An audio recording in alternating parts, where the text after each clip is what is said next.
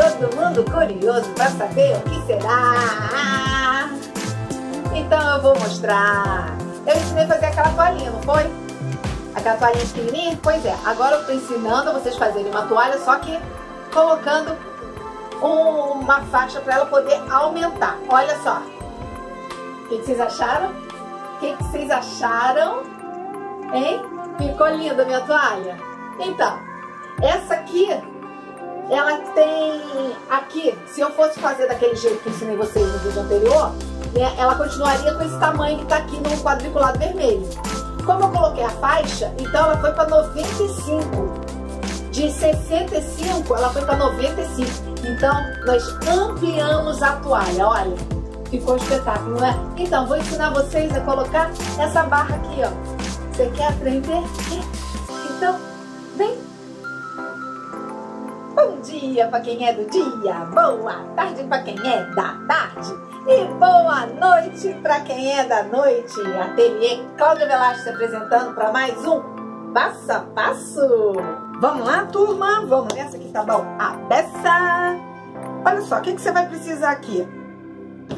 Um quadrado. Esse meu quadrado tem 55 por 55.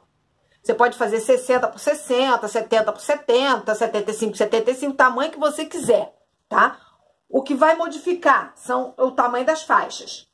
Minhas faixas, vou precisar de quatro faixas, tá? Sendo que duas faixas nessa largura aqui, tá? Você sempre coloca um pouquinho maior, tá? Porque na hora que você começa aqui, se você botar muito certinho, com 55, pode ser que falte um pedacinho para lá, falte um pedacinho para cá. Então, você deixa sobrando sempre aqui um centímetro de cada lado, tá? Então, você aqui tem 55, corta uma faixa com 57. Ou corta uma faixa inteira, do jeito que eu cortei aqui, ó, que dê para fazer duas. Então, você coloca uma, depois você corta e coloca outra. Também pode ser assim, em vez de você cortar a faixinha, as quatro faixas. Então, primeiro, vamos precisar de duas faixas, tá? Uma pro lado de cá e uma pro lado de cá. Por quê? Porque essa aqui, gente, como eu já falei, essa aqui eu não fiz canto mitrado, tá? Eu fiz para ela ficar maior. Se eu fizesse o canto mitrado aqui, essa toalha ia ficar apenas desse tamanho aqui, desse quadrado aqui. Então, ela ia ficar pequenininha. Como eu quis ampliá-la, então eu coloquei o quê? Eu coloquei um, uma faixa. Assim eu amplio ela, tá bom? Essa aqui é a mesma coisa, ó. De 55, ela vai ganhar mais 15 centímetros de, de, de cada lado. Porque essa faixa aqui tem 16 centímetros. Essa aqui eu fiz com 17. Essa aqui eu tô fazendo com 16. Você pode fazer com 16, 17, 18, 20. O tamanho que você quiser. Gente, use a cachola. Tá bom? Não fica se prendendo a minha metragem, não. Faz o tamanho que vocês tiverem aí. Se vocês tiverem um, um, um pedaço que não seja o suficiente para fazer o meio, faz um pet, emenda do jeito que eu vou emendar aqui, depois coloca a, a, a barra. Gente, inventa, inventa que fica bacana. Então, o que, que eu vou fazer aqui, ó? Vou direito com direito, ó, direito com direito, e vou passar uma costura aqui. Vou fazer esse lado aqui e esse lado oposto aqui. Tá bom? E já volto para mostrar para vocês. Pronto, gente. Bati a costura, ó, passei o ferro. Bater a costura e passar o ferro, gente. Tá? Pra ficar certinho. Agora eu vou usar essa parte aqui, ó, como linha, tá?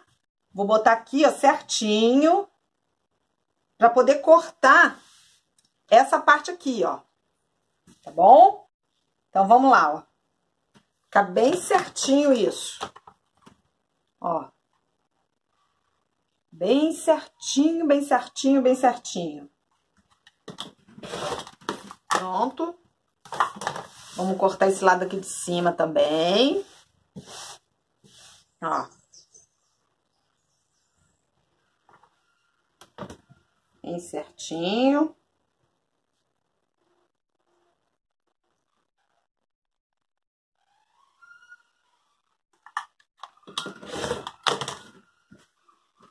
Os outros lados, quatro lados, gente.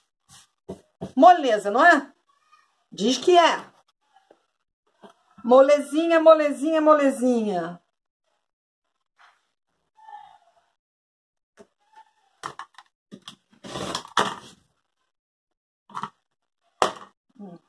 Ó, tá vendo aqui? Não sei se vai dar pra vocês verem aqui, ó.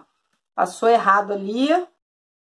Então, nós vamos refazer aqui o pedacinho, ó. Fica bem certinho. Pronto. Agora o lado de cá, lado de cá. Eita, ei, esse lado aqui. Vamos lá.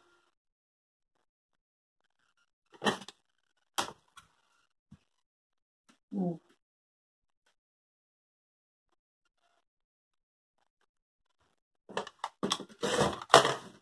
Agora, turma, nós vamos fazer esse lado aqui, ó. Vamos pegar dessa ponta aqui, ó, direito com direito, até a ponta de cá. Então, a mesma coisa que a gente fez nessa aqui, nós vamos fazer aqui. Só que essa aqui cresceu, né? Porque aumentou aqui 15 centímetros. 15 não, é 14 centímetros, por causa da, da margem de costura. Ó, então, nós vamos passar uma costura aqui, um pé de máquina aqui, até o final aqui. Depois que eu fiz esse lado, eu vou fazer esse lado aqui também, ó. Mesma coisa que eu fizer do lado de lá, eu vou fazer do lado de cá, ó. Direito com direito. Gente, presta atenção se a sua faixa tem parte para cima e parte para baixo, você presta atenção, porque senão você vai botar um para cima e um para baixo, tá bom? E cuidado também na hora de cortar, porque, por exemplo, ó, o cupcake, ele é deitadinho, tá vendo? Se você cortar assim, o cupcake vai ficar em pé, vai ficar, vai ficar feio, né? Não, não, vai, não vai ficar assim deitadinho, ele vai ficar em pé, aí vai ficar feio. Então, vocês têm que prestarem atenção nisso, tá bom?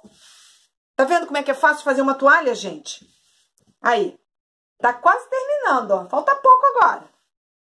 Exagera, né, Cláudia? Eita, menina danada! Então, vou pregar esse lado aqui e o outro e já volto. Pronto. Já fiz, já bati a costura, ó. Já bati a costura. Agora, vamos cortar de novo o outro lado, ó. Fazendo a mesma coisa que você fez do lado de lá, você vai fazer do lado de cá, gente. Ó, usa esse aqui como linha. Pra você cortar direitinho. Ó.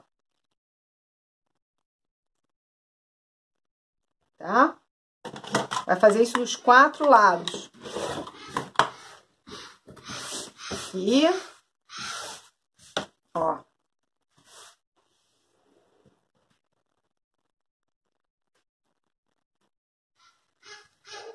Florinha impactar, ó, gente. Tá numa alegria só hoje.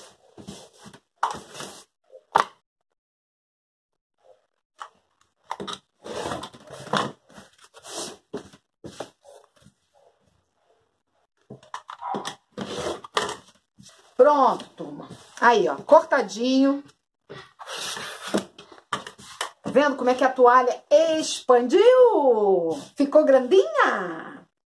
Tá vendo? Vamos fazer o que agora, gente? Como nessa aqui eu coloquei um viés, ó. Quem não sabe colocar viés, dá uma olhadinha aí nos meus cards que vocês vão saber como é que coloca esse tipo de viés que eu coloquei aqui.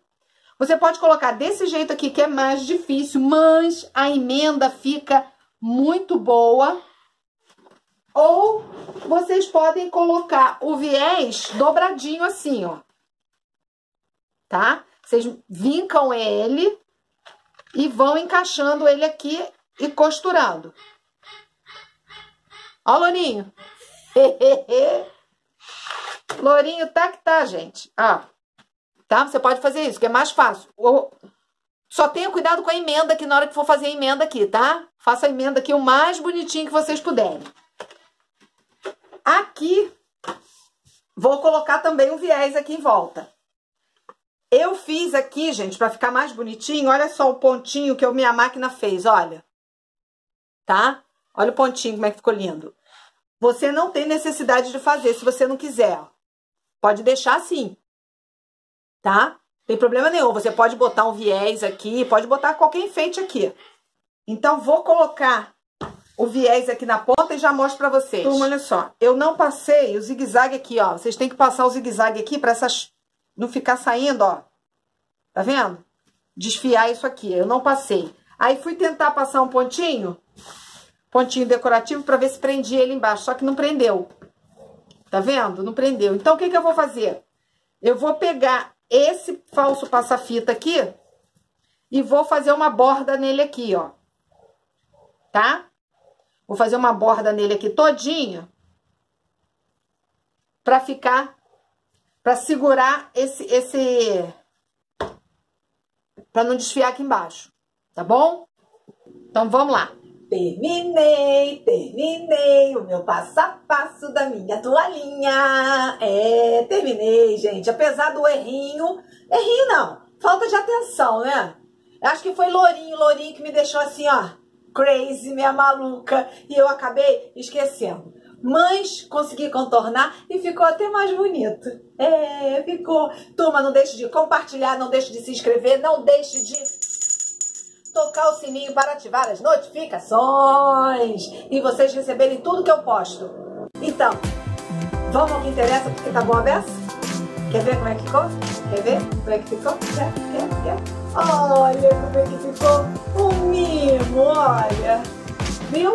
De um erro ficou mais bonito do que antes. Aqui, ó. Coloquei um passa-fita falso. Olha como é que ficou bonito. Olha. Tá vendo? Aqui atrás arrematou, ó, viu? Aqui, ó, não vai puxar mais fio nenhum. Sou de uma inteligência, não sou? Diz aí, gente? Ah, espetáculo! Então, agora nós temos duas toalhinhas lindas e maravilhosas. Olha, olha, olha, o que vocês acham das minhas toalhinhas? Não é um mimo as duas? Não é uma gracinha? Diz que não é. Ó. Gostaram, não gostaram? Então, dá like aí, gente. É isso aí. Turma, vai lá no Instagram e começa a me seguir que eu tô postando muita coisa lá também, tá bom? É Ateliê Cláudio Velasco lá no Instagram. Dá um pulo lá pra falar comigo. Um beijo lindo no coraçãozinho de todos vocês aí. Fui!